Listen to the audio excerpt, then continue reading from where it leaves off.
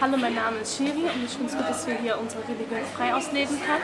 Vor 80 Jahren war es nicht so und ich finde das nicht okay.